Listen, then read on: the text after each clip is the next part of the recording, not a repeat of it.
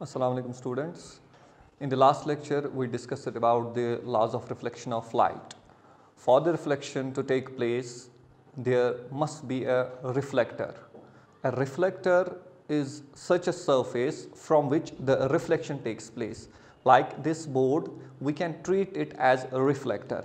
Like when the rays of light strike this board after striking its surface these rays of light goes back. So, this surface is treated as a reflector. But in day to day life, the one of the best reflectors of light is plane mirror. Plane mirror. Plane mirror is one of the best reflectors of light in day to day life. It is such an object that is made up of glass. Plane mirror is such an object that is made up of glass, but this glass is plane it's smooth. It has a very smooth surface. It does not have any bends it does not have any curved surface. It's plain. That's why it's called as plane mirror. Plane mirror. And it is coated with aluminum silver and many other materials where from the reflection takes place. The main thing about the plane mirror is it is image like we see ourselves in the mirror in the plane mirror. Fine. But the question here is what are the characteristics of image formed in the plane mirrors. The images formed by plane mirrors. Like I am seeing myself in the mirror. For example I am having a mirror in front of me. I am seeing myself in it. Fine? Okay. Now my image formed in the mirror. What are its characteristics? So I would write down the topic characteristics of image formed by plane mirrors characteristics of image formed by plane mirrors. The first characteristic and the very basic characteristic like when we see ourselves in the mirror, the plane mirror, we see ourselves in it, you see that the size of that image is exactly same as that of the object. I am seeing myself in the mirror, I am an object, fine. The image inside the mirror is of the same size as that of the object. So, the first characteristic of the image formed by plane mirrors is that the size of image size of image is same as that of object. Size of image is same as that of the object.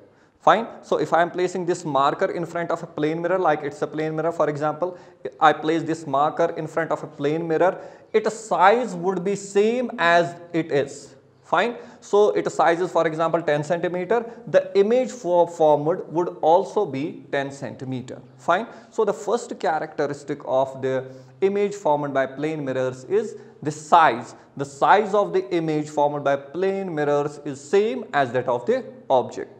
Second characteristic. the image formed is at the same distance as that of object. For example, I am placing this marker, treat it as mirror, treat this board, board as mirror, fine.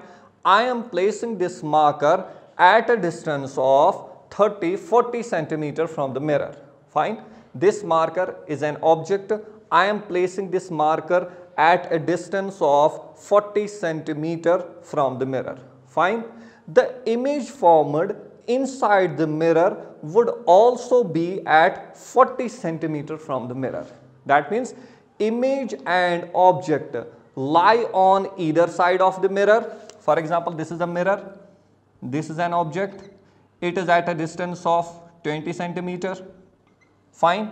The image formed inside the mirror is also at a distance of 20 centimeter from the mirror. Fine. Or I can say the mirror lies the mirror lies at the midpoint at the midpoint between the image and the object. Fine. So the image formed by plane mirror is at the same distance inside the mirror as that of the object. If the object is held at 50 centimeter from the mirror, if the object is held at 20 meter from the mirror, find the image formed inside the mirror would also be at a distance of 20 centimeter, 50 meter, whatever. Fine. So, simply the image formed by plane mirrors is at the same distance as that of the object. Fine. Okay. Next characteristic. The image formed by plane mirrors, the image formed by plane mirrors is virtual and erect. Virtual and erect. What does virtual and erect image mean? A virtual image means the image that cannot be obtained on a screen. A virtual image is that image that cannot be obtained on a screen. Virtual image. What does this mean that the image cannot be obtained on a screen? See, if I am placing this marker, if I am placing this marker in front of mirror, treat this board as mirror for example, fine. Okay, I am placing this marker in front of the mirror. Now, if I place a screen, if I place a screen here, here, fine, here, like treat my hand as screen, a plain sheet, a white sheet, it's a screen, fine. If I am placing this in front of mirror, in front of mirror, do I obtain any image on the screen? No, we do not. In other cases that we are going to discuss later, you can obtain the image. But in this case, in case of the plane mirror, we cannot obtain the image on the screen. That's why it is called as virtual image. Again, I am repeating. For example, this is a marker, this is an object. I am placing it in front of a mirror. Now, I am placing a screen. Fine. Do I obtain any image on the screen when I place it in front of mirror? No, I do not. That's why it's called as virtual image. So, virtual image is that image that cannot be obtained on a screen. Fine. So, the image formed by plane mirrors is always virtual. But at the same time, it is erect. Erect means, for example, this is a marker. When I place this marker in front of the board, do it, does it look like that the cap of the marker is on the lower side in the mirror? No, it's not. So the image formed by plane mirrors is erect. Erect means when the upper side is on the upper side of the object and the lower side of the object is on the lower side in the image. The object is like this, the cap is on the upper side, fine. In image, in its image, the cap is also on the upper side. But if you see in case of a like common example spoon. On one side of one side of the spoon if you if you place this marker in front of a spoon you would see its image tilted. Fine? So but in case of a plane mirror the image formed is always erect. Erect means when the upper side is on the upper side and the lower side is on the lower side. It's not tilted. Fine? Okay. So the next characteristic of the image formed by plane mirrors is that the image formed by plane mirrors is virtual and erect Fine? Okay.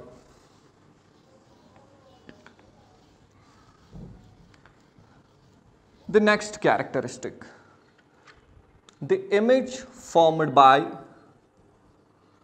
plane mirrors is laterally inverted. The image formed by plane mirrors is laterally inverted. Word lateral means sides, sides. Inverted means when these get exchanged. The image in case of a plane mirror, the image of an object in case of a plane mirror, the sides of the image get exchanged. For example, if I see myself in front of, if I place myself in front of a uh, plane mirror, if I raise this hand, if I raise my right hand, how would I see it in the mirror? It is like I am raising my left hand. That's why I wrote laterally inverted. That is sides get exchanged. Fine. So the left appears to be right and the right appears to be left. Fine. So the image formed by plane mirrors is laterally inverted. Clear? So, the, these are the characteristics of the image formed by plane mirrors. Let's recapitulate a bit. The image formed by plane mirrors is of the same size as that of object. The image formed by plane mirrors lies at the same distance from the mirror as that of the object. Fine. Third, the image formed by plane mirrors is virtual. That is that cannot be obtained on screen and it is erect. Fine. Okay, the next characteristic, the image in the plane mirror shows lateral inversion, the phenomena of lateral inversion or we can say the image in case of a plane mirror is laterally inverted.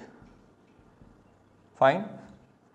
Okay, so if we place a B in front of mirror, this is an object, it would appear to be like this. Fine. Okay, so this is called the lateral inversion. So these are the characteristics of image formed by plane mirrors and the plane mirror is such an object whose reflecting surface is smooth plane. Fine.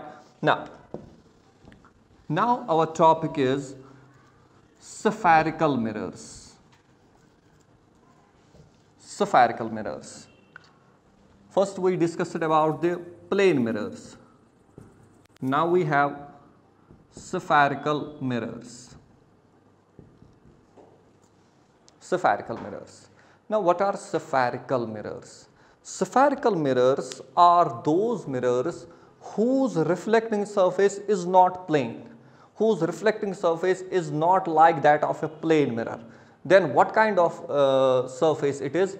It is, let's remember it like this, the reflecting surface is curved Spherical mirrors are those mirrors whose reflecting surface is curved or we can say bent whose reflecting surface is bent or curved. For example, if I take this paper,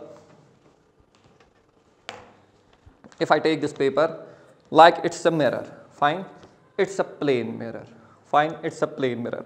Now, if I put like this, now what happened to this smooth surface? Now this smooth surface is curved. It is curved outwards, and not necessarily outwards. Let's say it's like this. Now its reflecting surface or plane surface has turned again curved, but it is curved inwards. In both the cases, whether the reflecting surface, whether the reflecting surface is curved outwards or inwards, in both the cases it is said to be a spherical mirror. The general term used for curved reflecting surfaces is a spherical mirror. So again I am repeating for example this is a plane mirror. Now if I put this plane mirror like this, now if I bend the surface of a plane mirror, bent either outwards or inwards, in both the cases it is bent, in both the cases it is bent. Outwards or inwards. This reflecting surface curved whether it is bent inwards or outwards. This reflecting surface is curved and that's why it is said to be a spherical mirror. So spherical mirrors are those mirrors whose reflecting surface is bent or curved whether inwards or outwards.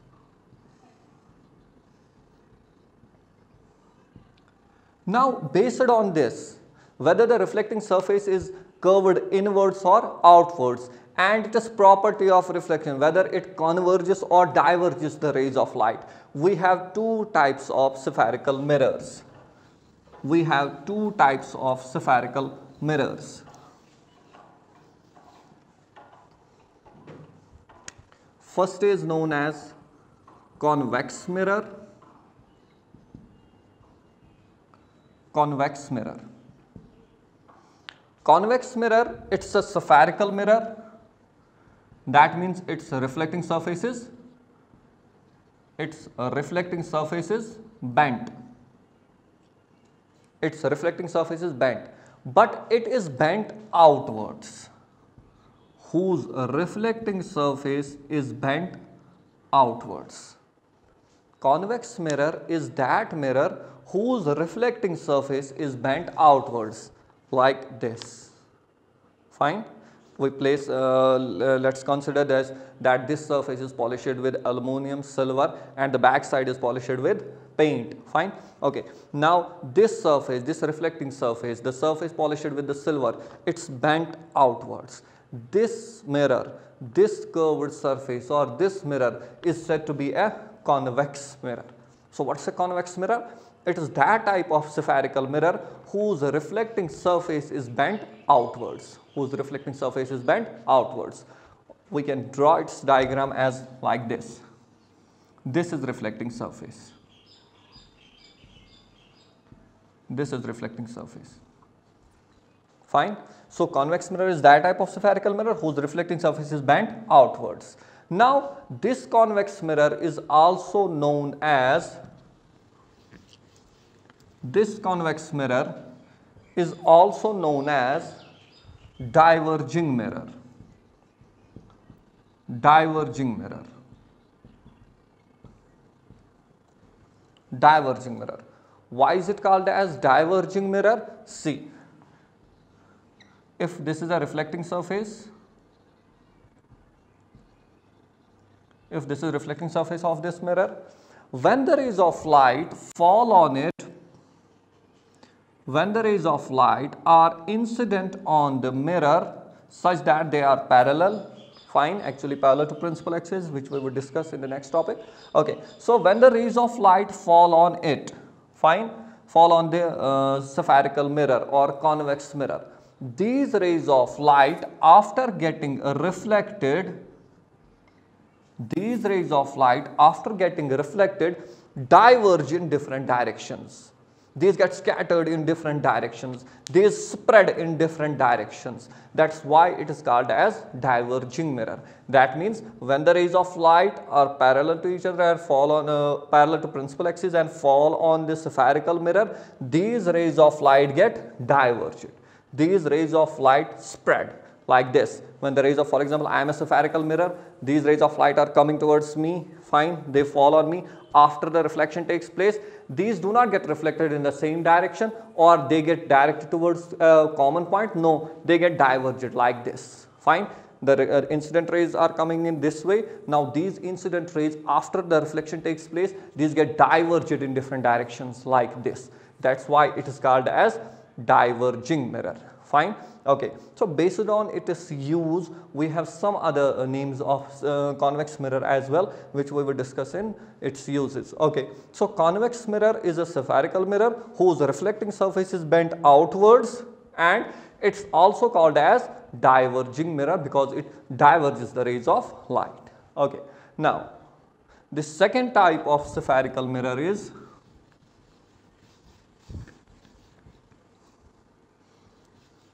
The second type of spherical mirror is concave mirror.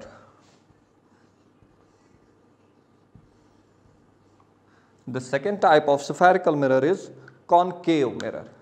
Concave mirror is that type of spherical mirror, it's opposite to that, whose reflecting surface, whose reflecting surface is bent inwards whose reflecting surface is bent inwards. That means this is the reflecting surface of concave mirror.